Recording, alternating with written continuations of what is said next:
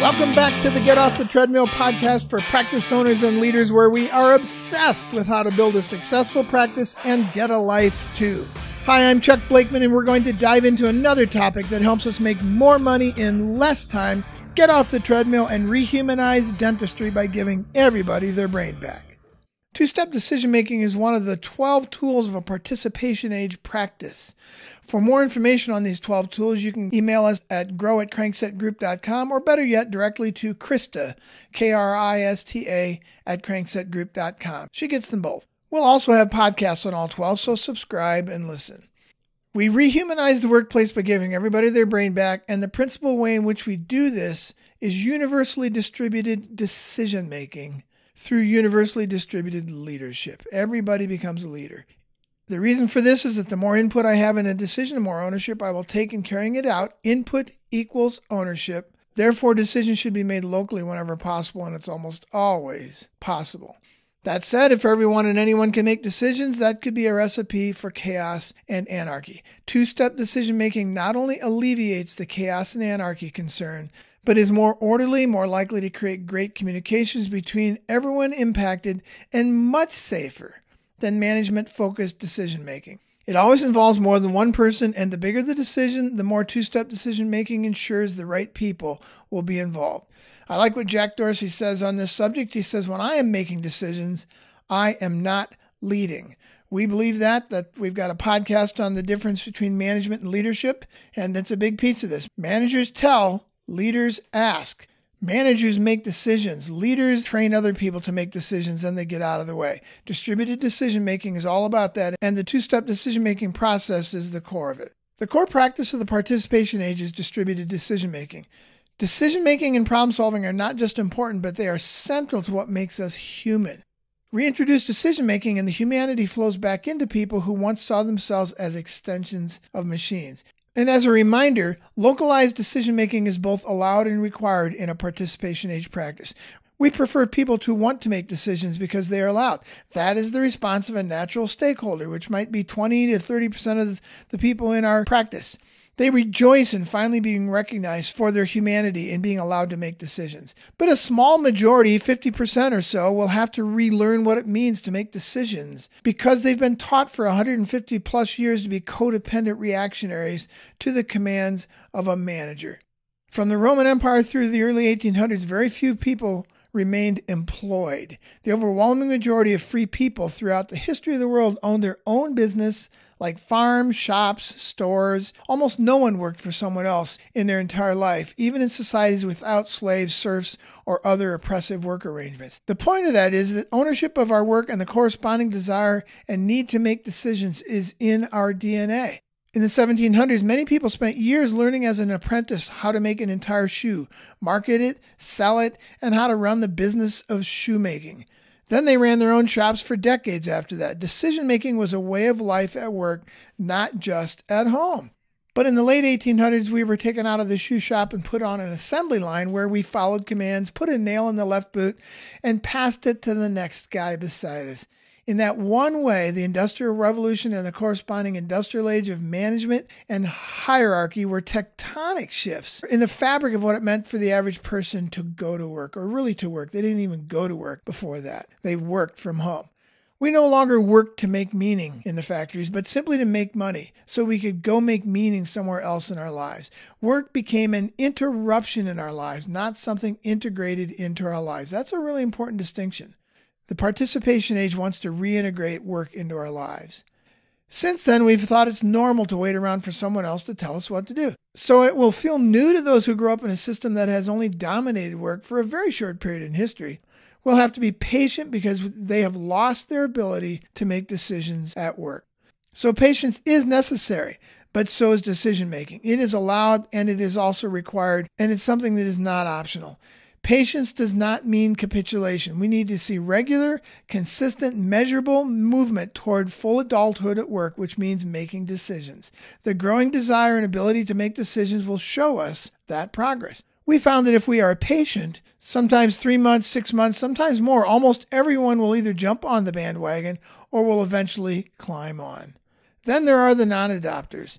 The other piece of the reality is that throughout history, there have always been a small minority of people who never wanted to own their own shop, run their own business, make decisions, or essentially grow into adulthood at home or at work. They've always been there. It's around 20%. And that's still the population of people that are considered completely disengaged at work. A few will eventually quit, or we will need to move them along, but we have never seen this to be disruptive.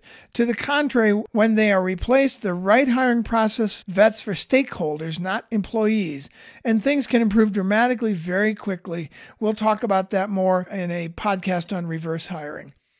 There's two simple steps to this process of decision making. With the foundation that making decisions is allowed and required for everyone, how do we do it safely in an environment where managers don't exist, only leaders who aren't going to tell us what to do. We want you to turn your office manager into an office leader. Very different concept. Here are the founding principles of the two steps for decision making. Number one, the more input I have in a decision, the more I will take ownership of that decision. Input equals ownership. You're going to hear that a lot. Therefore, decisions should be made locally where they must be carried out whenever possible. And again, it's almost always possible. So, two step decision making is really this simple. Step one decisions are made where they are carried out. The question is who will carry this out? Those are the people who should make the decision. And step two, whoever is affected or impacted by the decision should always be consulted and they should be part of that decision making process. So, who will be affected? It's utterly that simple. Who will carry this out and who will be affected? But we have found that in, in a lot of companies steeped in factory system hierarchy, which still exists in most practices, it takes a few months for people to actually work it out in daily life. Step one rehumanizes through localized decision making and localized ownership of the decisions people have to carry out. Input equals ownership, and that ownership creates adulthood. Step two, who will be affected, ensures that chaos and anarchy are never present in the decision making and that everyone and anyone who wants input into that decision will have the opportunity to do so. It is step two that makes two step decision making safe. It's also step two that people inadvertently miss quite often, thinking that somehow they covered it in step one by gathering some people to make a decision.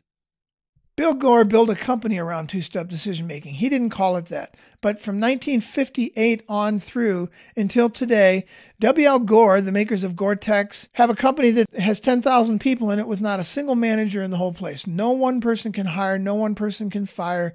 It's networks of teams released to take action as stakeholders and as adults. Bill Gore had this concept of above and below the waterline decision making. As the co inventor of Gore Tex and the founder of WL Gore, he had an elegant picture of step two that he used to help guide decision making at Gore.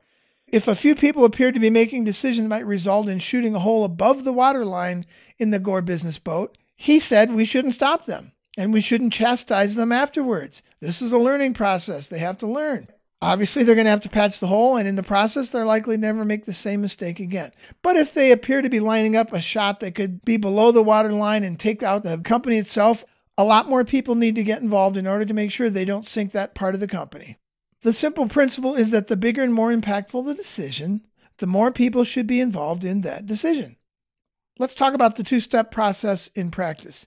In hockey, soccer, lacrosse, games like that, whoever gets to the ball or the puck first is the leader for the moment. They need to make decisions about how to handle the ball or the puck and where to pass it next. Everything rests on their decision making. No one would play for a coach that gave everyone earpieces and told them exactly what to do throughout the game but that's exactly how we expect people to respond to a manager who will sit there and tell them exactly what to do so they can simply execute the orders. It's dehumanizing. In two step decision making, we do it like a soccer game or a hockey game. We relocalize decisions and bring the humanity back into everyone's position. Everybody can grab the ball and has the responsibility to. It's allowed and it's required. And they decide how to move the ball forward with their team. This willingness to take initiative and grab things you would have traditionally left for the boss is central to two step decision making. Just like in soccer, there are no conditions under which we can look at a ball loose on the field and say, "Well, that's that's not my job to kick the ball. That should be kicked by somebody else. Somebody should do something about that. Maybe the manager." Nope, kick the ball and figure out later who should have kicked it if it's not you. This is the concept of leader leader in action which we talk about in another podcast at length.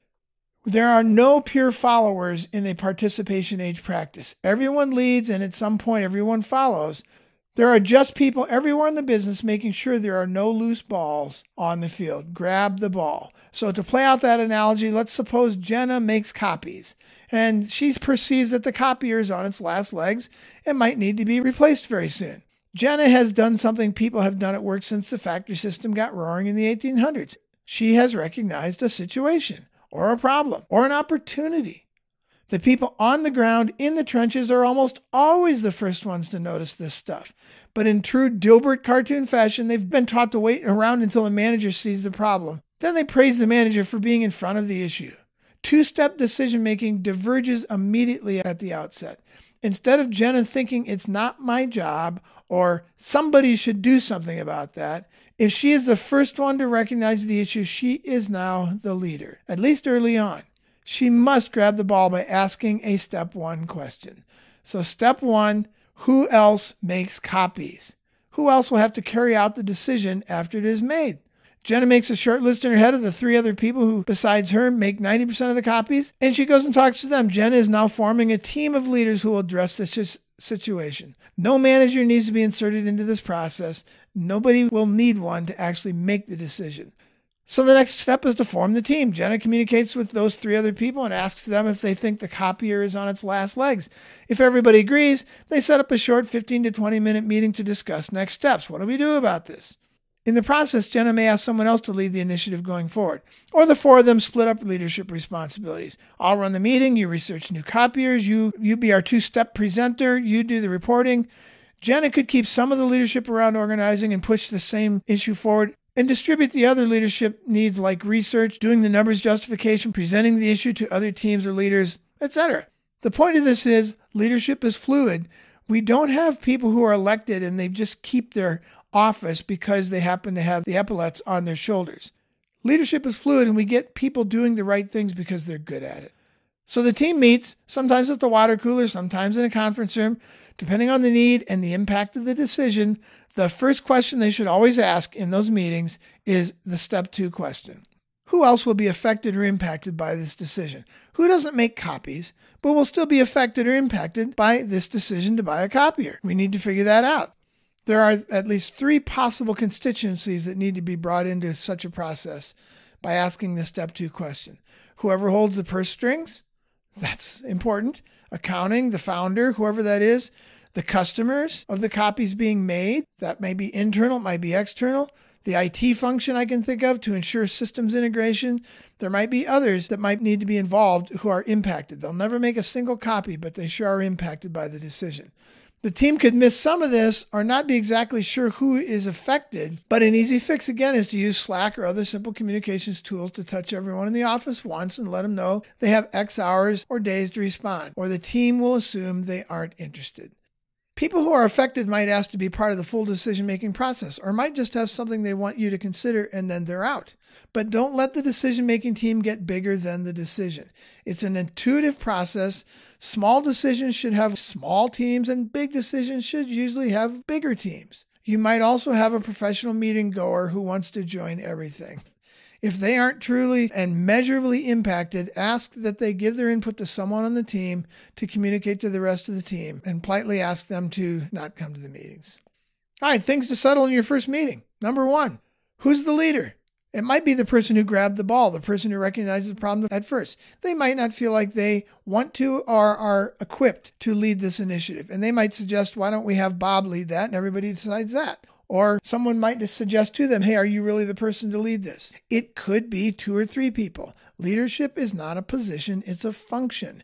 And sometimes it takes two or three or four people to lead.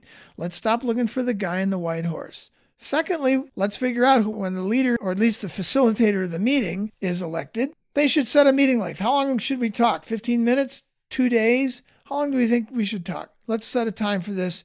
We should also set a timeline for making the decision. How many days, how many months should we take to make this decision? Let's have it done by this date at noon. Set a date. Next, how will we decide? Majority, 80% rule? Do we need a mediator to do this or a arbitrator to do this for us? Is it too sensitive? Let's figure out how we're going to decide before there's a dog in the hunt. And then lastly, again, do we need a mediator? Is this a touchy subject? Invite someone with good mediating skills to lead the discussions and maybe even have the final say as an arbitrator. If there's emotions or complications that you feel like would require that, don't be afraid to get a mediator involved in the meeting. Again, it depends on the size of the decision. Small decisions should not take a lot of energy. Bigger decisions, you don't want to shoot a hole below the water line. This is important. As we go through this process, we as practice leaders have to understand there are no mistakes, there are only seminars. One of the reasons, among many, that people don't want to make decisions at work is because they know that they're going to get yelled at. People who are relearning to make decisions must be encouraged to take small risks. We have to celebrate decision making, even if the outcome isn't always what we desire. If people feel no freedom to experiment and learn, and the specter of failure looms over them, they're going to have no interest in relearning how to make decisions. My friend Alan Weingarten taught me to substitute the notion of mistakes with the concept of seminars. There are no mistakes, there are only seminars. Some seminars are longer than others, some are more expensive than others, but they're just seminars. So we encourage people not to make mistakes, but to have seminars. And we have two rules around seminars. Number one, keep the seminar as short and inexpensive as possible. Time and money are at a premium. Don't go to really long, really expensive seminars if they're not going to be valuable. And then, secondly, don't repeat seminars you already took. If we are taking the same seminar repeatedly, it's no longer a mistake, it's a pattern of not learning. And you'll hear another podcast on the difference between mistakes versus patterns and how we have to deal with those very differently. So let's role play this stuff. It's good to take a look back at recently made decisions and role play how to two step them, or maybe how the process went down. Or you can take a live opportunity to role play two step decision making. This would be a great thing for your practice to do. It could be that your practice is nailing this naturally, but likely there is some fine tuning or fairly significant changes you're going to have to make. Remember the objective and always look for a good decision, not a perfect one. So let's role play a decision or pick a new one. First, pick a leader, and it could be multiple leaders depending on the size of the decision. You could have a facilitator who's good at facilitating, somebody else is good at something else. Functional leadership. Pick a leader and use the protocol that we talked about earlier to start the discussion and practice timekeeping and voting. How long should it take? Rules for making a decision? Do we need a mediator? And how will we ensure everyone who's impacted has their input? Do we use slack.com or some other email or some other way to get this out there? Who and how many will do the research if there is need for that? When do we meet again to resolve this? And we should already have a date for when it's going to be resolved. Do we all agree that once the decision is made, we will all get on board? That's a real important thing to get done right up front. This is not about consensus. This is about everybody getting their input. But once we've made a decision, whether it's 60% or a mediator, we all jump on board. It's important that we all agree once a decision is made. It is treated by everyone as if the decision was the one they wanted. We're not shooting for nirvana here, just great input, a highly collaborative process, and that the decision be made locally by those who will have to carry it out. If we've done those things, we're on the road to rehumanizing the workplace by giving everybody their brain back. All right, I want to close this by talking a little bit directly to strategic leaders, to the people who own the practice or lead the practice. There are five steps strategic leaders can take in the decision making process, in actually facilitating a two step decision making process. Step number one a stakeholder or a tactical leader, somebody else brings something to you. And what they should bring to you is not, hey, we got a problem, or hey, we need you to, to come up with a solution. They need to come to you having gone through the two step process decided what they want to do, and basically come to be transparent and communicate so that everybody who is impacted gets a say. So they come to you and they say something like, I intend to do X.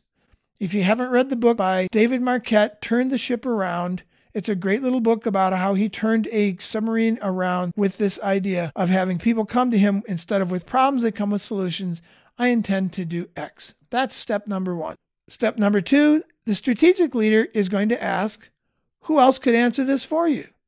And really, they should have asked this themselves. But if you think there's somebody else who could actually vet this decision and they're coming to you, then you need to say, What about Sally? Do you think she could help you vet this decision before you make it?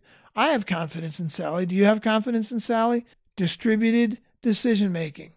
We train people to come to us We train them to be codependent on us, and then we're dis- tired and discouraged because there's this line outside our door waiting for an audience with the Pope to be told what to do. Let's find other people. Let's always be thinking is there somebody else that they could have gone to for this decision? Step number three ask them, have you done all the homework? We don't want codependence here. We're not asking them to come to us so that we can do the homework. They should do it, and we should simply be vetting their homework. We'll do our own homework, but they should do theirs as well. We have a clever little way of talking about this in our company. When someone comes to someone else and says, I intend to do X, we say something snarky like, Have you Googled that? And what we mean by that is there are so many opportunities out there for you to get information on this to figure out how to make this decision. Have you availed yourself of all the opportunities from Google to spreadsheets to your teammates to data in the practice? Have you done everything you can to research this on your own? I'm not your mommy. I'm not going to do that for you. You should have come having already done that, which is why you can say, I intend to do X. Step four, the leader asks questions. If they've done all their homework, then start asking the questions you have from your own homework. Have you thought about how this impacts the other teams? What do you think about this relative to the bottom line? Do you think this will add profit or take profit away? Is this going to be easier or harder? Have you thought about the impact on so and so? As strategic leaders, we add great value by helping people take their decisions, which are made in a localized environment, and we help them see how they impact the whole thing. So asking questions until we feel like we've got this figured out. Managers tell, leaders ask. Ask questions. Once you guys have figured out together that there's no holes in what they have figured out, then it's really sort of a uh, Star Trek Captain Picard kind of thing where you just say, make it so. Do what you intended. So that's the five steps. I intend to do X. Who else could answer this instead of me? Have they done all their homework? Ask all the questions you can to make sure it's a good decision, and then confirm it to them and congratulate them for having come up with something great and have them do what they intended. Remember, the art of leadership is to know how few decisions the leader needs to make. So, as a strategic leader, make a list of the things that you decide that others could decide. Choose one of the things on that list and match it to a person and then begin to train that person. Or if it's a piece of software, whatever you have to do to get this thing off your plate. Take one of these at a time, distribute the decision making, and encourage people to get involved in two step decision making. And then repeat this with the intention of making fewer and fewer decisions for other people by training them to make better decisions than you would. Remember, the art of leadership is to know how few decisions the leader needs to make. And then devise a prize or regular prizes to celebrate people who have completed a seminar something we used to call a mistake. Let's celebrate them and share that award regularly at team meetings to show who has courage. Make it the Courage Award or something like that. The courage to actually grow, or the Learners Award, or something like that to encourage people to push ahead. Have the winners share with others what they learned at the seminar and why they won't likely need to take that seminar again. That's a great way for them to embed the learning. If we don't encourage experimenting and learning through trial and seminars, people will not take us seriously about distributing decision making. It's not trial and error, it's trial and seminars. If you'd like a one sheeter guide to two step decision making, we've got one of those we'd be glad to give you. Email Krista at cranksetgroup.com, K R I S T A, or grow at cranksetgroup.com, and she'll be glad to send you the one sheeter guide that anyone can use to work through an issue and follow this simple two step decision making process our driving passion to rehumanize dentistry into the participation age by giving everybody their brain back. And remember, the central practice to accomplish this is two step decision making. Let's help people learn how to be full on stakeholder adults who will be able to take the initiative to get involved in making decisions that they have to carry out. Grab the ball and run with it. Give everybody their brain back, allow and require localized decision making, and you'll achieve 100% engagement.